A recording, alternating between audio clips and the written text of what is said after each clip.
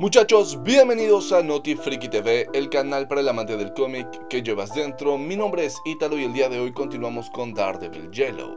Si no has visto el primer capítulo, en la descripción está la playlist. Antes de iniciar, mandemos un gran saludo al fanático del cómic más rápido del multiverso, Juan Pablo Gómez. Muchísimas gracias por haber llegado tan temprano el día de ayer. Y ahora sí, muchachos, comencemos.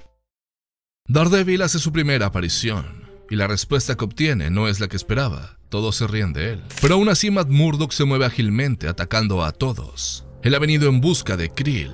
Mientras Daredevil los golpea, él recuerda cómo su padre lo crió para nunca resolver los problemas con los puños. Su padre no quería que sea como él, a pesar de que según Matt, su padre era el mejor hombre del mundo. Daredevil toma a Krill y lo azota contra el suelo, preguntándole dónde está Fixer nuevamente. Según el boxeador, Fixer llegará en cualquier minuto. Matt cree que él y su padre eran el uno para el otro. Su padre le ocultaba lo que estaba haciendo con el Fixer. Ambos se mentían para protegerse el uno al otro. Pero Matt sabía que su padre estaba molesto con él, porque el muchacho se mantenía en forma y estudiaba cada uno de los movimientos de su padre. Muy pronto, Fixer y su acompañante aparecieron disparándole a Daredevil. Ellos no sabían quién era, pensaban que era un luchador. Matt los lanzó por las escaleras, y cuando cayeron hacia la oscuridad del gimnasio, él aprovechó este perfecto escondite para decirles que venía a vengar a Jack el luchador. Ese era un nombre que Fixer no había escuchado hace algún tiempo, y le recomendaba no mencionarlo en este lugar. Sin embargo, rápidamente Daredevil les quitó la ventaja, removiendo las armas de sus manos y luego atacando desde las sombras. Aprovechando que su enemigo estaba indefenso, Daredevil tomó el arma y le preguntó si esta fue la que usó para matar a Jack. Slade era el hombre de confianza del Fixer, y aunque quisiera hacerlo, no podría mentirle a Daredevil. Él lo sabría de inmediato. El arma homicida nunca fue encontrada,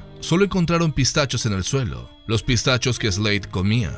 Daredevil solo quería una cosa de este hombre, que testifique. Después de arreglar cuentas con Slade, era momento de encontrar al Fixer, y en el camino recordaba lo que su padre decía siempre sobre el ring.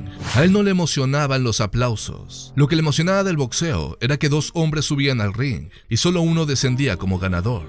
Después de perseguir por tres cuadras al asesino de su padre, Matt por fin lo tenía enfrente. El hombre corría lleno de pánico, Matt podía seguirlo claramente gracias a su perfume barato. Sumado a esto, las monedas en su bolsillo sonaban cada vez que daba un paso más. Mientras Fixer corría, le preguntaba a Daredevil por qué hacía esto. Jad Murdoch simplemente era un vago de la calle. Pero estos comentarios solo enfurecían a Matt. Fixer incluso le ofreció dinero si es que lo dejaba en paz. Pero antes de que Daredevil le pudiera hacer cualquier cosa, él lo presintió. El corazón del Fixer no iba a soportar esto. Matt recuerda todavía ese momento. Él pedía que por favor el Fixer aguantara un poco más, por lo menos hasta que pudiera golpearlo. Pero de pronto el hombre cayó de cara contra el suelo. Y no solo eso, un tren se acercaba a toda velocidad. Pero Matt no era un asesino.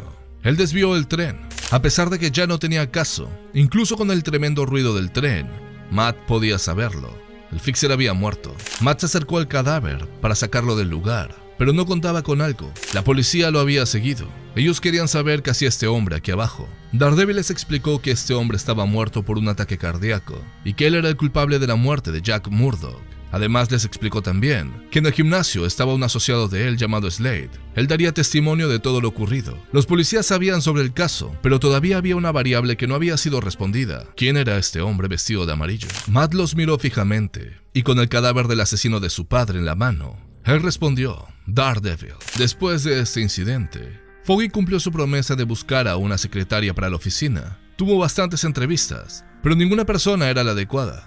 Después de un día ocupado y tedioso, la última persona en tocar la puerta era alguien buscando a Matt Murdock. Alguien la había enviado para una entrevista, pero Foggy estaba muy cansado. Él había tenido un día largo. Ella lo comprendía.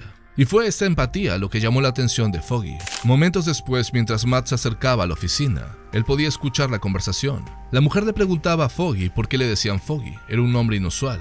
Él respondía que era porque él era un tipo inusual, Además le avisaba que muy pronto Matt regresaría a la oficina, pero había algo que la mujer debía saber sobre él. No obstante, Matt no le dio tiempo para explicarle.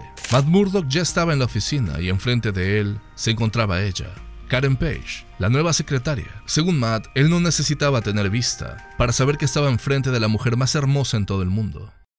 Muy bien amigos, de esta manera culmina el segundo capítulo de Daredevil Yellow. Esta vez, Matt Murdock consiguió su venganza, sin embargo, no fue la venganza que él quería. Él quería por lo menos darle un golpe a este tipo, no obstante, le dio un paro cardíaco. Y esto alza una pregunta interesante. Matt Murdock es un asesino en estos momentos?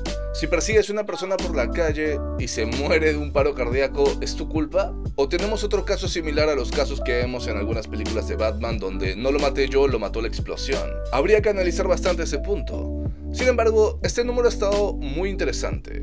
No solo Daredevil obtuvo la venganza que quería, sino también nos muestran la primera vez que se encontró con Karen Page.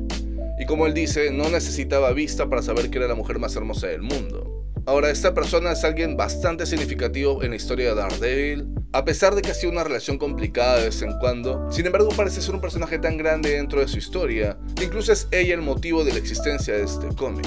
Daredevil escribiéndole una carta a la ya fallecida Karen Page. Me pregunto qué veremos a partir de ahora. Ya cubrimos el origen, ya cubrimos la venganza, llegaremos a ver la muerte de Karen Page en estas páginas. Ojalá, sería muy útil, cosa que nos refresca la memoria. Pero ya lo veremos, aún faltan cuatro capítulos más. Por el momento muchachos, hemos llegado al final, han estado viendo Notifriki TV, muchísimas gracias por la preferencia.